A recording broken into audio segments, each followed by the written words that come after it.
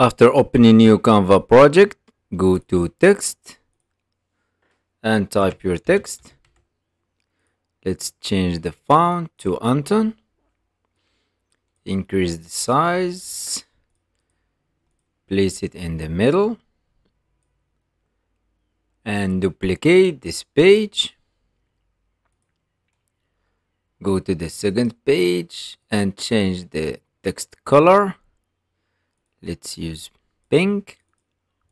And download the second page as png with transparent background. Let's increase a little bit the size. Let's select just the second page.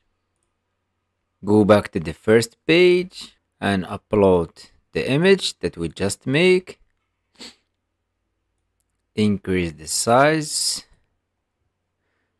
Go to apps and type reshape.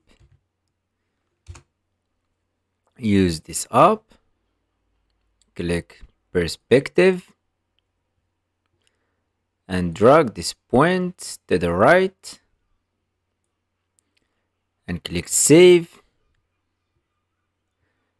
And let's go to upload and use the original image increase the size again to fit exactly all the page. Go to apps reshape perspective and drag the point in the bottom. Click save. Let's crop this one from the bottom. Click in the second one and crop it from the top. Let's drag this images like this. Click on the image in the top. Let's change a little bit the color.